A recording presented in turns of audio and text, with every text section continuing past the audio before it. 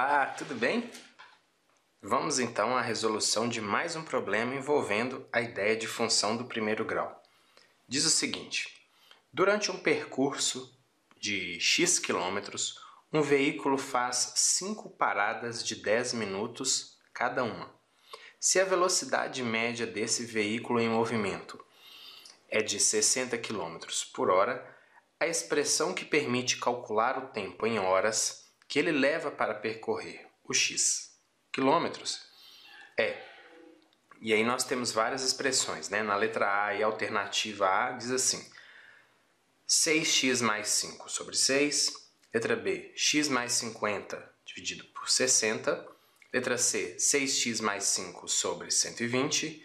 Letra D, x sobre 60 mais 50. E letra E, x mais 50 sobre 6. Olha só, para começar, nós vamos usar um argumento da física que nos diz o seguinte, que a, a velocidade média, e aí eu não vou entrar muito em pormenores da física não, tá? Mas é, existe essa regra que me diz que a velocidade média é igual à distância total percorrida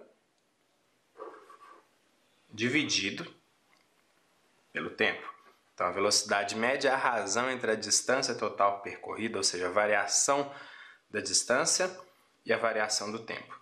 A gente pode manipular isso aqui e aí nós vamos ter que T é igual a D sobre V, correto? E aí está dizendo o seguinte, que no exercício está dizendo que a distância, o percurso total é x e que a velocidade média é 60. Então, em princípio, T é igual, distância seria x, e v, 60. Em princípio seria isso aqui.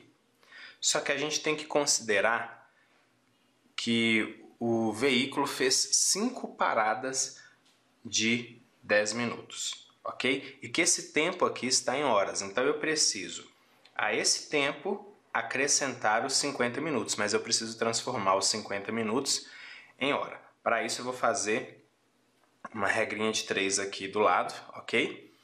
60 minutos, a gente sabe que 60 minutos correspondem a uma hora.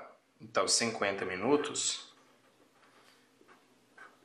corresponde a quantas horas? Aí a gente vai ter que x é igual a 50 sobre 60. Eu poderia até simplificar, dá 5 sextos. Então, o tempo total é x sobre 60 mais o tempo total das paradas em horas, ok? Dá para a gente reduzir isso aqui né, a um único denominador, é 60.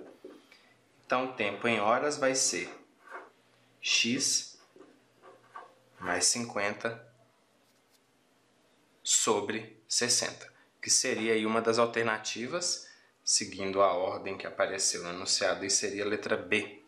Ok? Letra B, então, está me dando esse resultado.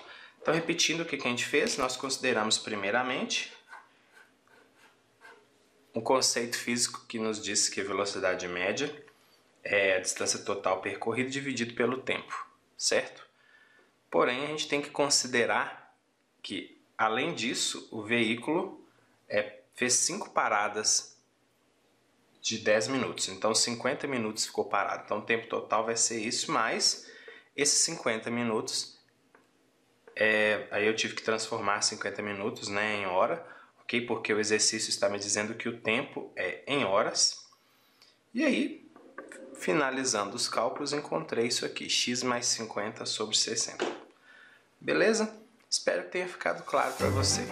Então, está aí corrigido mais um exercício. Um abraço para você, bom estudo e até a próxima videoaula. Tchau, tchau.